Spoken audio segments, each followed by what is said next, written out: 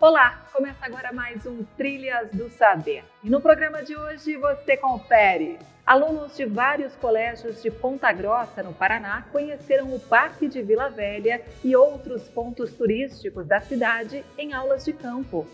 No livro trailer de hoje, vamos rever um poema lindíssimo de um dos maiores poetas brasileiros, Vinícius de Moraes. E em mais um episódio do Recreio com História, uma aventura pra lá de divertida. Tudo isso e muito mais no Trilhas do Saber que começa agora.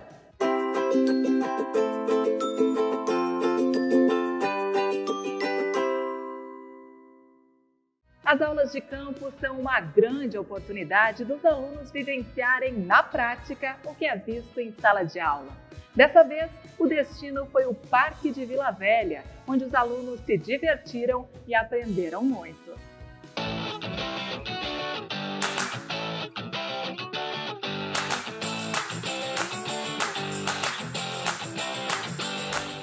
Estamos aqui na Catedral Santana, em Ponta Grossa, famosa por sua história e por sua arquitetura moderna.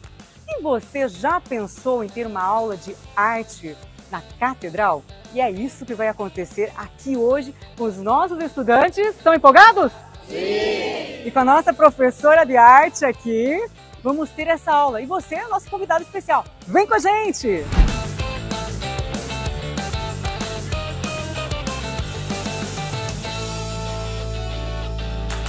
Nossa catedral, ela tem uma arquitetura moderna e uma das características que a gente pode observar aqui é a presença do ferro aparente, que faz parte justamente desse período, né? A utilização do aço e do ferro aparente junto com o concreto. Ela conversa com vários períodos da história da arte. Os vitrais no período gótico eram utilizados para ensinar, para catequizar o povo que não era letrado. A gente pode observar aqui, ó, a via sacra, ela é toda é, nesses medalhões em alto relevo. O alto relevo, a escultura em alto relevo, também faz parte né, da história da arte e ela existe desde as primeiras civilizações. Lá na Mesopotâmia nós já tínhamos é, algumas esculturas em alto relevo e aqui no caso a gente tem os medalhões da Via Sacra.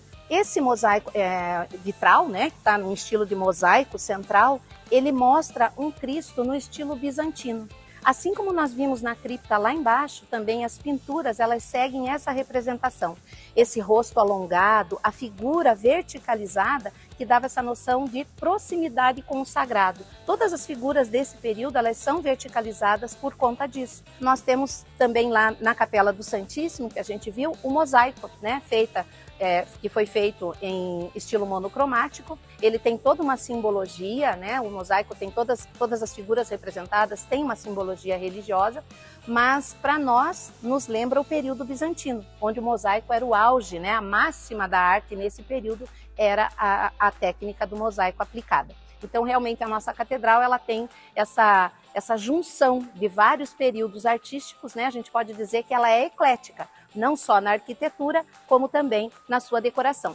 E na parte de fora, pessoal, na parte externa, você observa também que ela tem quatro minaretes. O que, que, são esses minaretes? Eles nos lembram as catedrais do período bizantino. Hoje nós temos, por exemplo, a Catedral de Santa Sofia, que fica onde antes era Bizâncio, hoje né, na Turquia, que é a maior representatividade da arquitetura daquele período.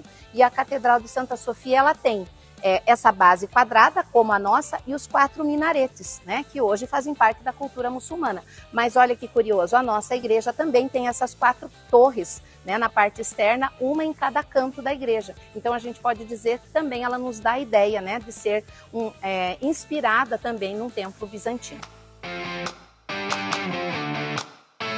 Carlos Eduardo, conta pra gente como foi essa experiência em ter essa aula incrível aqui na Catedral hoje? Ajuda no aprendizado? Ajuda muito, porque nem sempre a gente tem esse aprofundamento tão rico né, em informações como a gente teve em sala de aula. Basicamente, a gente só teve acesso à teoria, e hoje a gente teve a oportunidade de conhecer um pouco mais sobre a história da nossa cidade e também sobre a história do cristianismo um pouco também. A gente tem um aprofundamento que, na minha opinião, foi fantástico para mim, e olha, foi um, dos, foi um dos melhores dias em si na escola. Aqui a gente conseguiu conhecer desde a raiz da história de Ponta Grossa, a gente conheceu é, inteira. A gente conseguiu ir no terraço da, da catedral, conhecer a cidade de cima também, algo que eu nunca tinha visto antes. E foi muito interessante, é coisa que a gente não está acostumado a ver ou a ouvir, tipo uma história completinha. Ter essa aula aqui foi muito bom, até porque Coisas que a gente talvez não aprenda na sala de aula, a gente consegue aprender aqui, vendo tudo isso e aprendendo também com a professora. Né? Eu quero saber de você, Alessandra, todos nós que queremos saber, qual que é a relação da construção da Catedral Santana com o surgimento da cidade de Ponta Grossa. Na época, Ponta Grossa estava para ser criada como cidade. E Dom Pedro I, ele decretou que deveria ser construída uma capela em homenagem à Senhora Santana. Então ele mandou vir de Portugal para cá essa imagem para ficar nessa capela. E na época, os fazendeiros não conseguiram chegar a um consenso de onde iria ser construída a nova igreja. Eles tiveram uma brilhante ideia de soltar um casal de pombos. E onde esses pombinhos pousassem, eles então iriam construir a nova igreja. Esse casal de pombinhos pousou então no galho de uma grande figueira, que ficava exatamente aqui.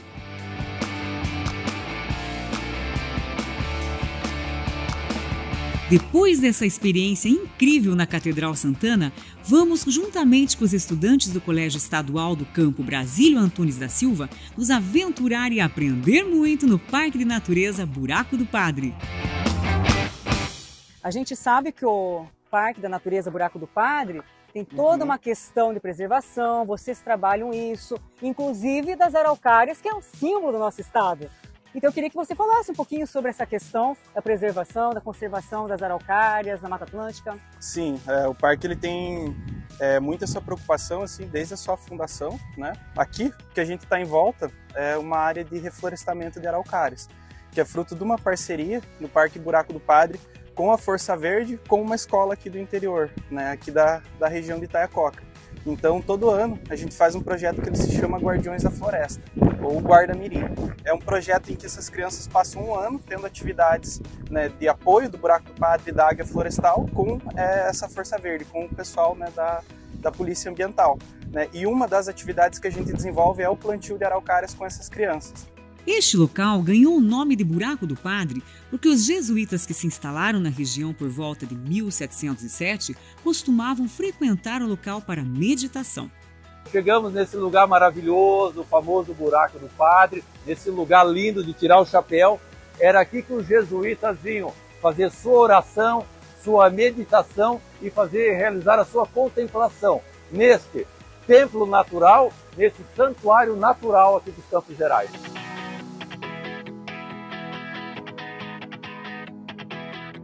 Depois de colocar a aula de história em dia, é hora de aprender sobre como as leis da física se aplicam na descida da tirolesa.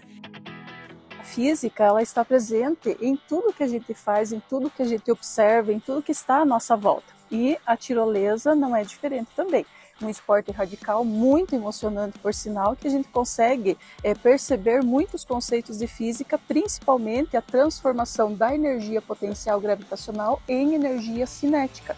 E aí, Luan? Vamos descer de tirolesa? Como é que tá o coração? Oh, batendo a mil. Imagina que aventura, hein? Que aventura. Gente, vocês estudantes já viram com certeza na escola, né, estão estudando isso, as leis que se aplicam à tirolesa. Com certeza, a gente já viu bastante com o professor de física, né? As leis de Newton, leis da força e trabalho, né? A gente vê direto isso, mas eu vi na, pra, na teoria, né? Agora vamos ver na prática.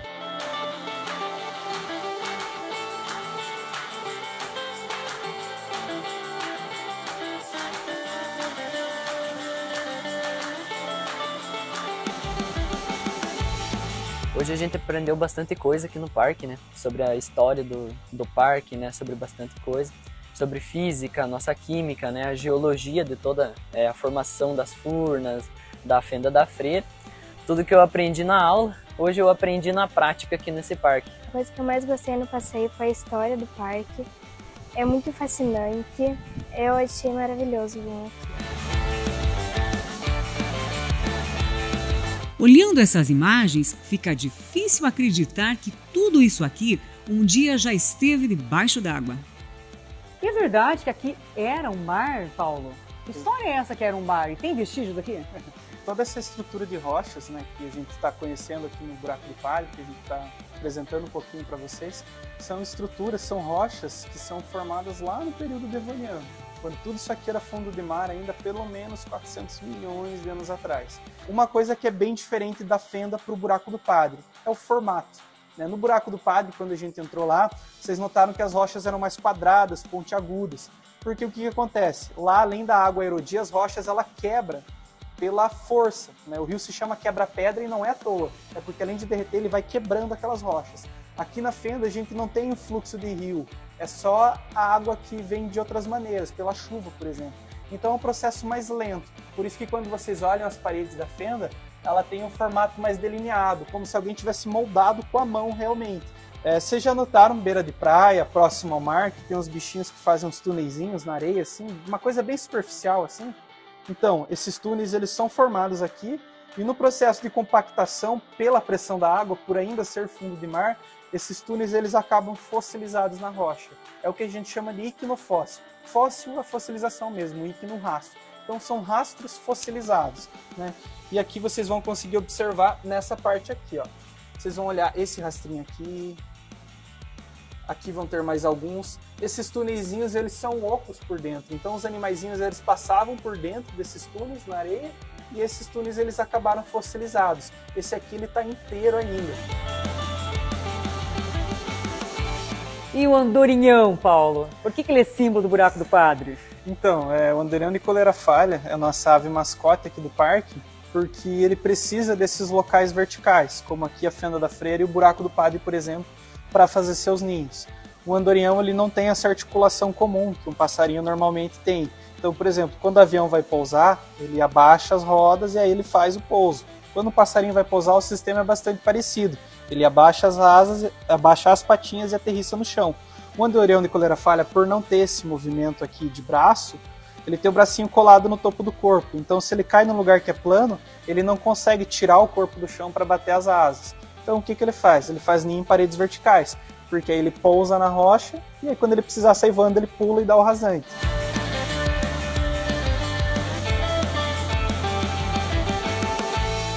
Para ver a furna Buraco do Padre de cima, tem que passar pela Rocha do Favo. E essa rocha tem história.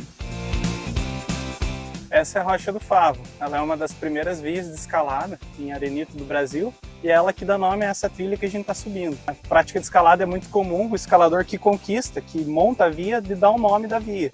Por ela ser uma formação que lembra muito um favo de mel, na época, o escalador que conquistou a rocha batizou ela de Rocha do Favo e dependendo da época do ano, tem algumas abelhas que fazem ninhos lá em cima também. Então tudo converge para que ela se chame Rocha do Favo. Ah, que bacana! Os alunos do Colégio Estadual Cívico-Militar José Elias da Rocha tiveram a oportunidade de desbravar o Parque Vila Velha.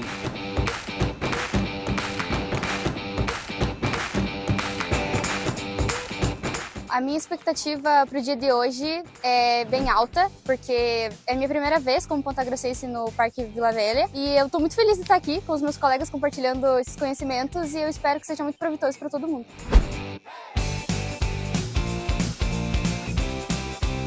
Antes de começar essa aula a céu aberto, o professor de Educação Física, Tiago, aproveitou a linda paisagem para fazer um alongamento com os alunos.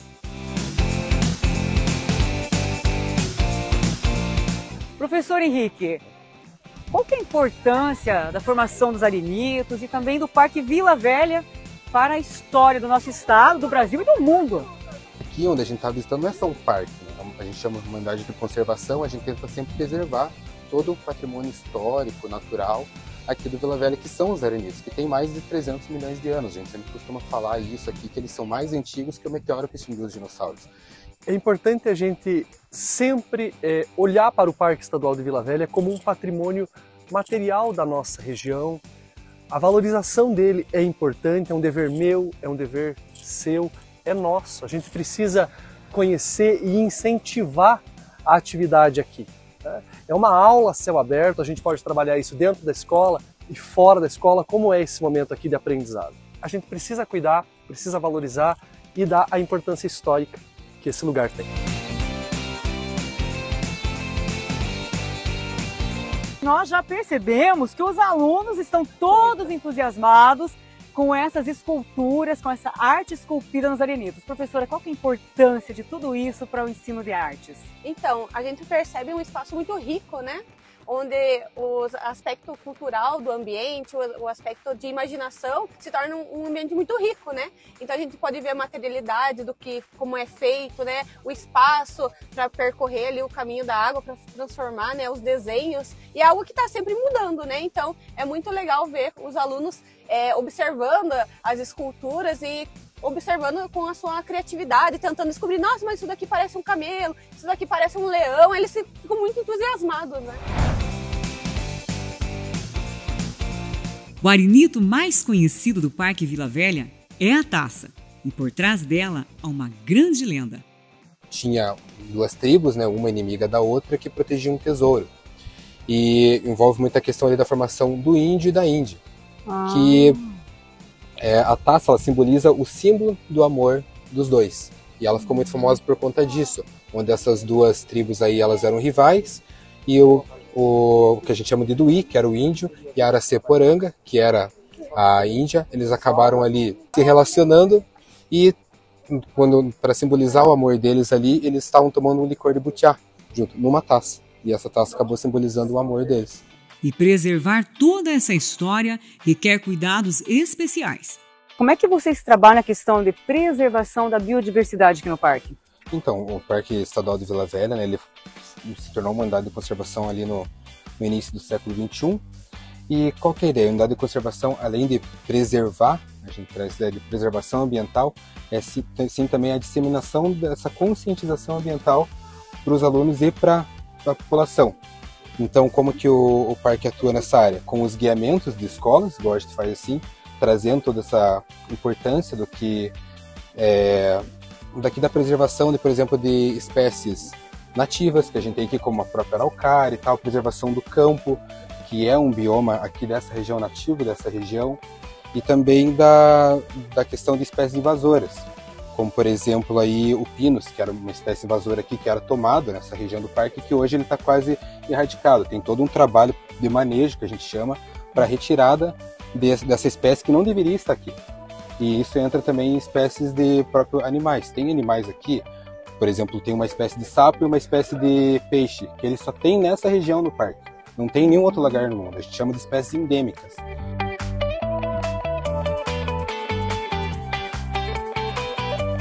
Isabelle, conta pra mim como é que foi a experiência de vir aqui no Parque Vila Velha, ter aula de campo, aprendeu muito?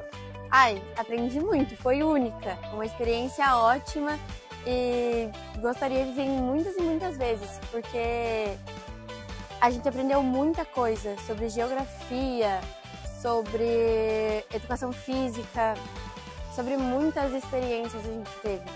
Essas experiências pedagógicas, essas expedições, elas são extremamente importantes porque elas é, aumentam a intenção da interdisciplinaridade, né?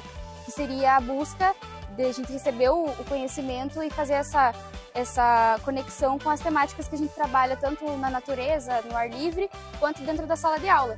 Chegamos ao final de mais uma aventura. Mas se você gostou da cidade de Ponta Grossa, fique ligado, tem muito mais.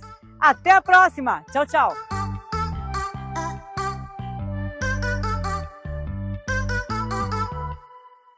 Vinícius de Moraes é um dos grandes poetas brasileiros. Você lembra de algum poema dele? Com certeza agora você vai lembrar.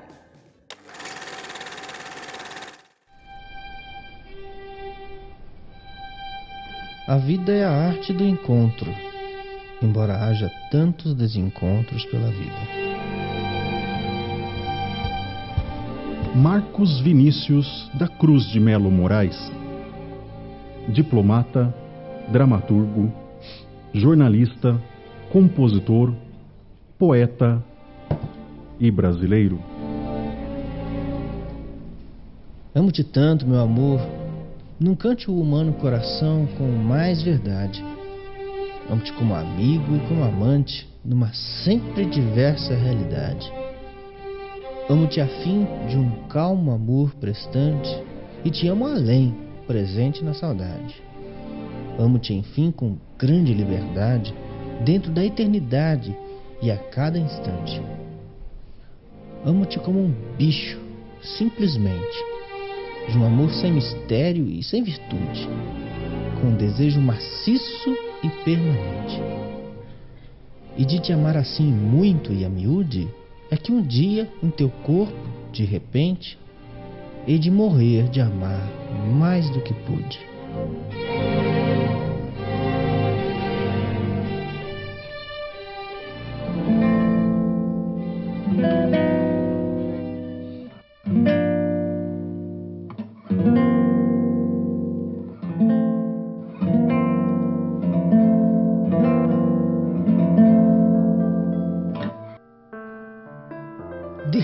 Repente, do riso fez-se o pranto, silencioso e branco como a bruma.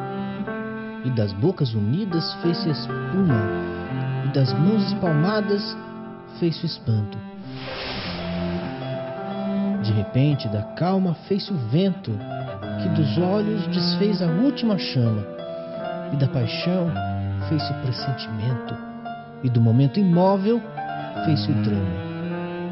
De repente, não mais que de repente, fez-se de triste o que se fez amante, e de sozinho o que se fez contente. Fez-se do amigo próximo o distante, fez-se da vida uma aventura errante. De repente, não mais que de repente.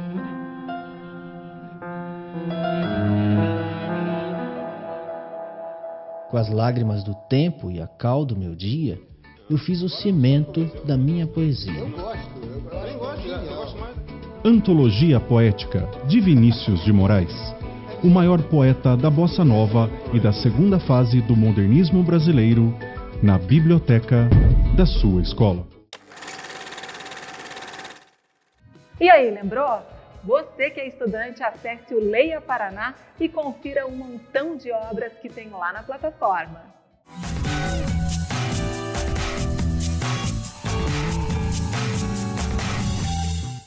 Meu nome é Genuíno Vieira Júnior, eu tenho 18 anos, estudo aqui no CEP Assis Brasil, é, Cleveland, Paraná.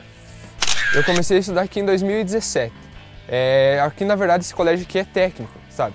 Aí, tipo assim, ele tem as matérias de produção animal, produção vegetal, horticultura. É tudo o que um técnico vai precisar para exercer a sua profissão. Na verdade, a ideia surgiu de um trabalho de sociologia, né? Que a professora pediu pra gente fazer alguma coisa para vender para ela e eu e meu amigo, a gente acabou pensando mais além e a gente pegou e falou assim, ah, vamos fazer um E? Vamos, para ajudar na vida aqui no colégio. Porque aqui a gente tem 17 matérias. Ah, então fica muito complicado, a gente sempre acaba esquecendo algum trabalho, alguma prova, né? Daí a gente acabou fazendo. Daí a gente tentou passar para as outras pessoas aqui do colégio. Só que daí a gente teve um problema com isso, né? Que para passar assim não é tão fácil. Aí a gente, uh, um dia eu fui para aula de matemática e a professora me chamou para conversar disse que uh, gostou do projeto e que ia inscrever a gente no, na feira de ciências que teve lá em Curitiba e a gente foi para lá apresentar. É, a gente foi com o professor Clori, que naquela época dava horticultura pra gente. Daí no primeiro dia a gente já apresentou o nosso projeto, né? Daí nos outros lugares lá eu achei uma coisa muito interessante, que, é, que era outra, o projeto de umas meninas que fizeram lá com alga marinha. Daí, tipo, tirava o oxigênio delas. Era muito interessante. Sim, a gente aproveitou, conheceu Curitiba também. Na verdade, teve uma, uma festa de noite lá, né, de inicialização, que foi no Castelinho lá. E a gente foi lá, foi muito bom. Daí a gente também foi no shopping também, passeamos bastante. É, a gente voltou para a escola e todo mundo ficou muito feliz, né, da gente sair representando o colégio, né? Também porque aqui todo mundo vê, ah, é colégio tipo antigo, só estuda, só sabe carpir, não sei o quê, mas não é bem assim, né? A gente também aqui tem o povo inteligente. É, a Expoab foi depois do evento do FIC. Daí na Expoab, tanto que a gente também apresentou esse nosso projeto ali no ginásio. A Expoab é um evento que acontece tudo aqui, todo ano aqui no nosso colégio, mas na verdade a Expoab é mais envolvido com os alunos do terceiro ano, que eles estão se formando.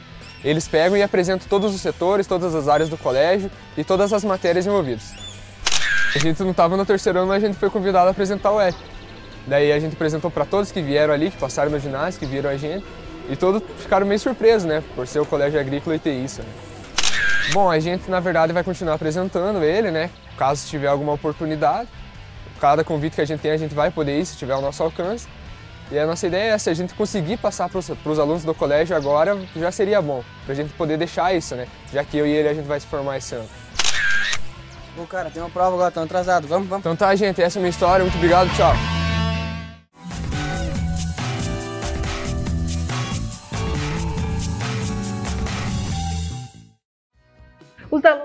Aqui do Paraná tem cada questionamento quando o assunto é educação. Confere aí como eles são curiosos.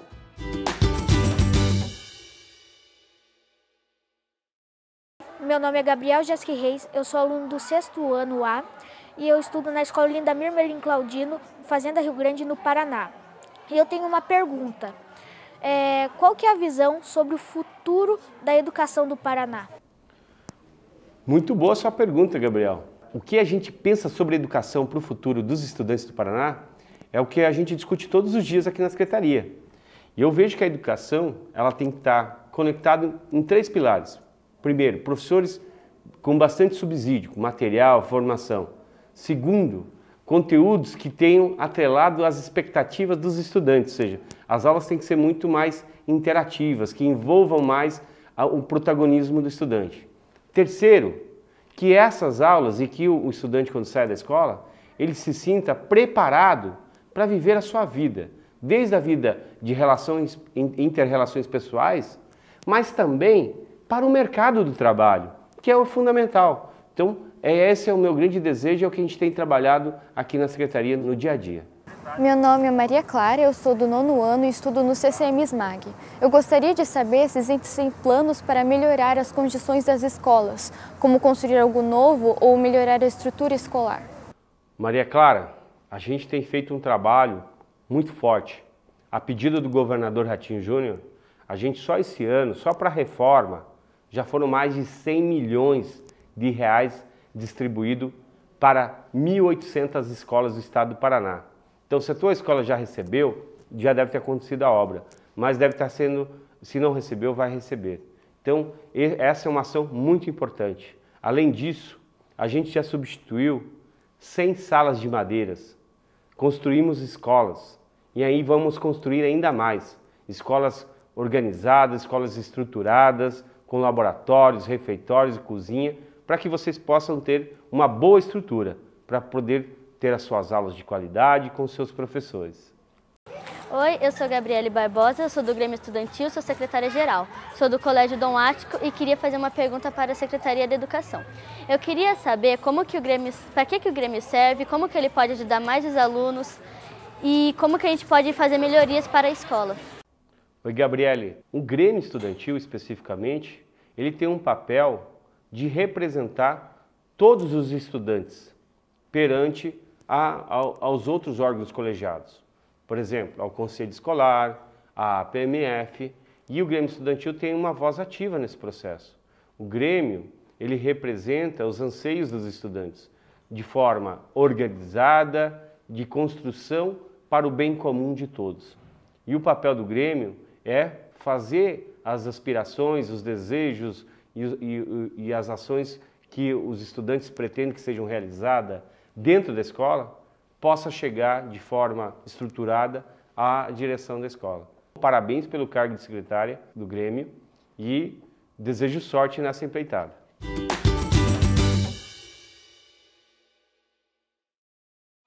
O Trilhas do Saber fica por aqui. Você pode rever este programa e obter mais informações sobre a educação do Paraná. É só acessar o QR Code que está na sua tela. Até a próxima!